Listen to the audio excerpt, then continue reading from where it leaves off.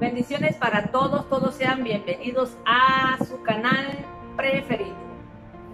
Hoy vamos a continuar con lo que quedamos, ¿verdad? En el video anterior estamos llevando una, un mini estudio sobre el ayuno y hoy nos toca ver qué hacer y qué no hacer cuando ayunamos. Como que esto, este, no fuera un problema, pero sí hay veces se hace problema porque hay personas que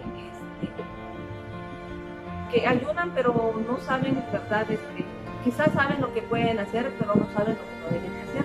Y quiero decirles que en la mayoría de las cosas que vamos a ver que no se debe hacer, si alguien lo está haciendo, este, quiero decirle que ese ayuno, pues este, no es ayuno, lo que nosotros decimos aquí, se pierde el ayuno. Y vamos a comenzar con el número uno. ¿Qué no hacer cuando ayunamos? No usar el tiempo de ayuno para dormir. O sea, eh, levantarte ya tarde, decir, ah, bueno, voy a levantar a las 12, ya a las 12 te bien. No, ¿verdad? Entonces ya no vas a hacer lo que, lo que tienes que hacer. O eh, eh, si comienzas de muy tempranito, ¿verdad? Y como es lógico que como no hay nutrientes, no se come, ¿verdad? Ese día, es posible que alguien le dé este sueño y se vaya a acostar por ratito, no, el ayuno no es para que duermas. No es, o sea, si lo están haciendo, quiero decirte que ese ayuno no es ayuno. Pues no sé qué puede hacer, ¿ah? pero ayuno no es. Número dos, ¿qué cosa no debemos hacer cuando ayunamos? Es no usar el celular para eh, mensajear con los amigos o con otras personas hay que usarlo, pero para lo que esté relacionado, ¿verdad? Con lo que tú estás haciendo. Por ejemplo, un ejemplo, yo cuando yo lo uso, cuando, porque estudio, estoy estudiando, entonces si no recuerdo, ¿verdad? El personaje o, el, lugar o, el texto tal cual de lo que yo estoy haciendo, entonces a veces que internet nada más le pones una palabrita y aparecen todas las historias o todos los textos, y ahí es donde yo aprovecho a sacarlos de ampliar mi mensaje. O sea, si, vamos a usar el celular, que esté relacionado con lo que estamos haciendo. Pero no vamos a estar ahí chateando y ahí que mensajeando, ya, bueno, sí, ah, ahora, ahora, yo no sé. No, eh, para estar, para eso, mejor sítense en otro lugar, ¿verdad? Y en otro. Si lo estás haciendo y, y, así se pasa todo el día ayuno y no hiciste nada, pues eso no es ayuno. Número 3. No ver programas televisivos. Porque, bueno, casi la mayoría de los programas pues, no, están relacionados con lo que estamos haciendo. Entonces ahí va a desviar tu mente o tu meta o tu visión, ¿verdad? tu propósito. Y, más que nada, ¿verdad? Si en un comercial aparece una hamburguesa o carnes, no sé, cosa de comida, pues se te va a antojar y que como que hay, te puede vencer, ¿verdad? El hambre y, puedes perder mucho. Bueno, número cuatro. Cuando ayunamos no debemos salir a ningún lugar, ni de compras, ni de visitas. Ah, si alguien dice, no, pero yo salgo a visitar o a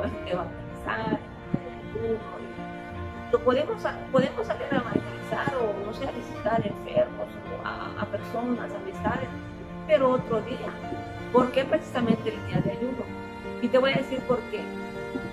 Porque si, si, si, si se lo ofrecimos al Señor como un espacio para Él, e, es que Él, ah, en, él, en Él vamos a estar en Él, pues, o sea, en su palabra, e, e, en, en, las cosas que, que, estamos haciendo.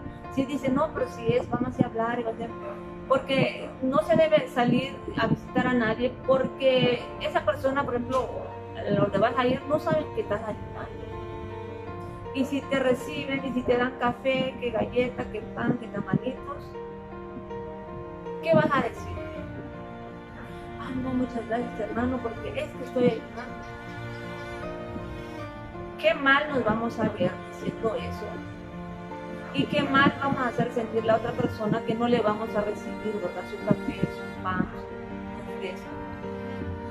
Se va a sentir mal. ¿Y qué va a pensar de nosotros? se está ayunando y para qué sale.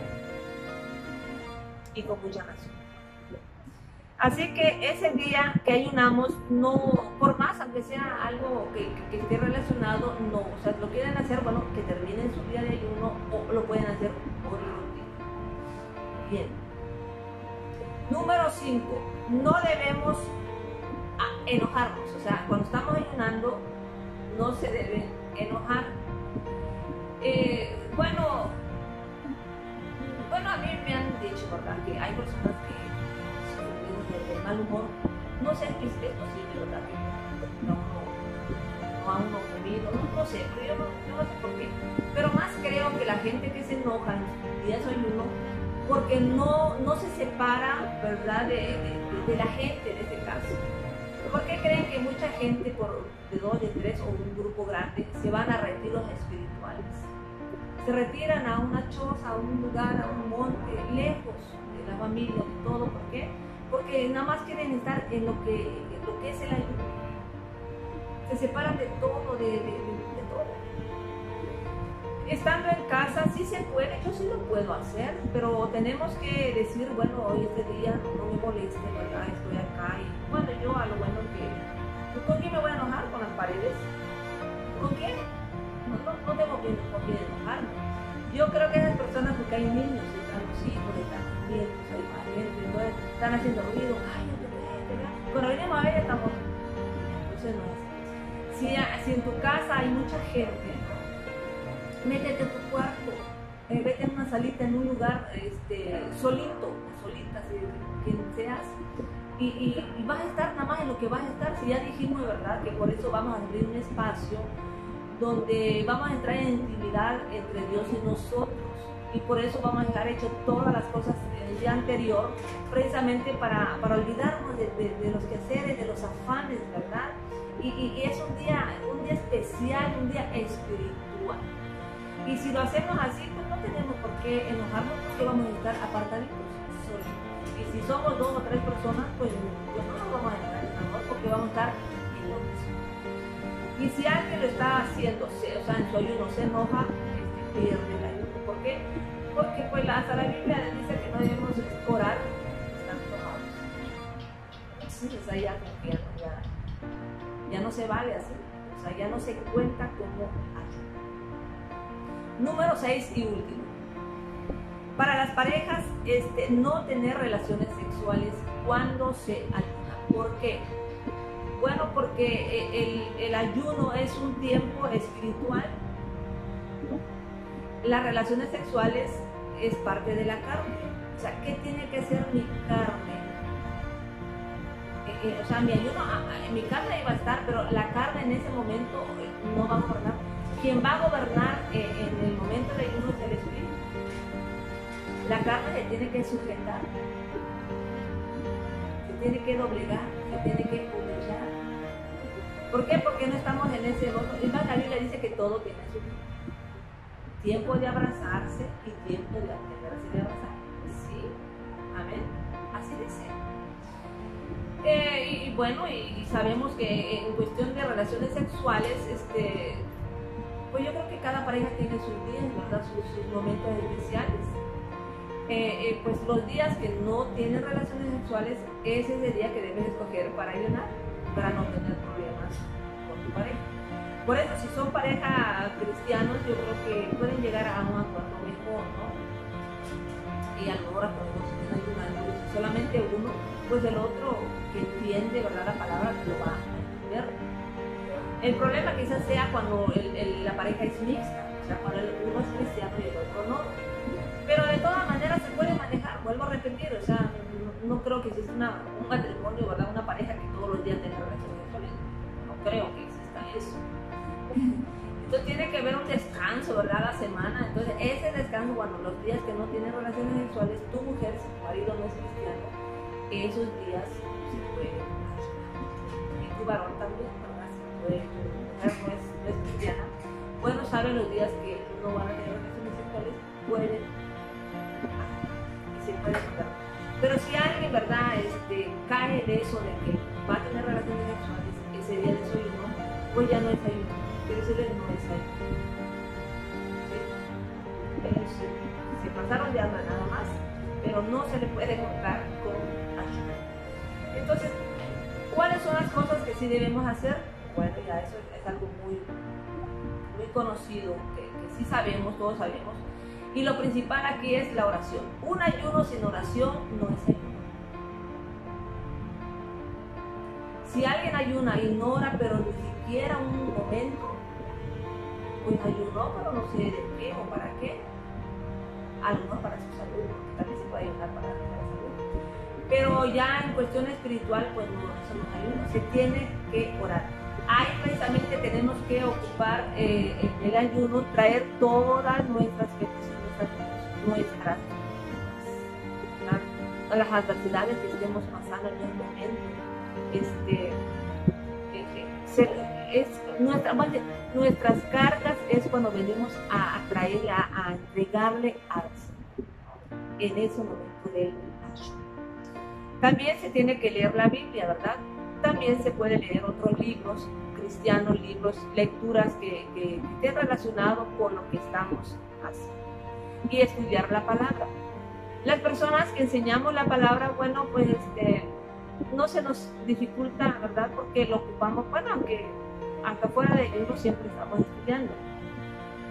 Pero en el día de ayuno es cuando más es cuadruplicamos nuestro tiempo para eso. Es cierto que hay personas que, que sí me pongo a pensar en las personas que no, no enseñan la palabra, no no, no, se dedican a eso.